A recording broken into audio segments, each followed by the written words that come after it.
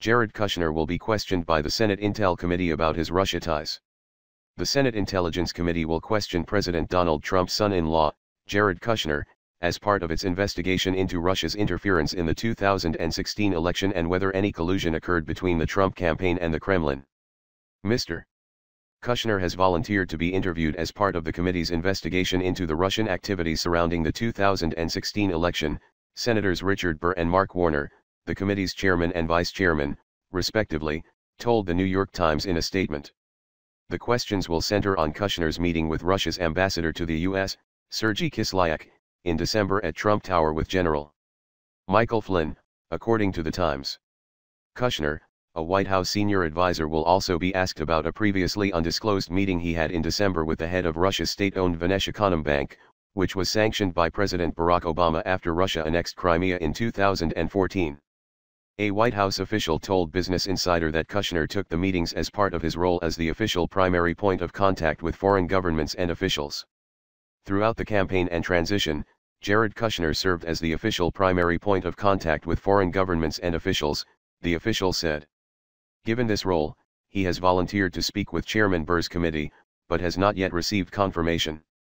Kushner's meeting with Vnesheconombank's chief, Sergei N. Gorkov, came at the request of Kislyak, White House spokesperson Hope Hicks told The Times. Kislyak delivered the message to Kushner via Avram Berkowitz, an aide who Kushner sent to meet with Kislyak in his place. At the time, Kushner was trying to find investors for a Fifth Avenue office building in Manhattan that is set to be heavily financed by Anbang Insurance Group, a firm with ties to the Chinese government. Hope Hicks told The Times that the Kushner Tower project wasn't discussed during his meeting with Gorkov.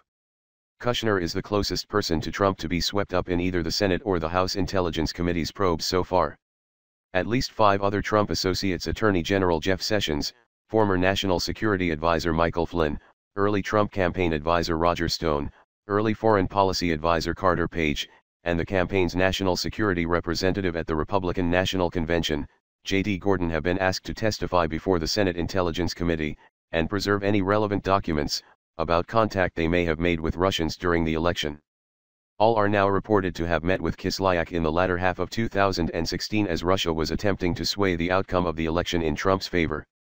Flynn resigned as National Security Advisor after he misled Vice President Mike Pence about his conversations with Kislyak, and Attorney General Jeff Sessions recused himself from the Department of Justice's Russia-related investigations after the Washington Post reported that he met with Kislyak twice last year and failed to disclose those meetings during his confirmation hearing.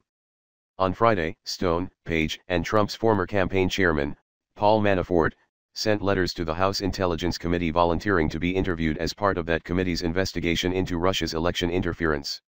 While Stone, Manafort, and Page all have connections to Russia, they have all denied that they helped facilitate any collusion between the Trump campaign and Moscow during the election. The FBI is investigating the Russian interference separately from Congress, FBI Director James Comey confirmed last week. The investigation has been examining whether members of Trump's campaign team colluded with Russian officials to undermine Hillary Clinton.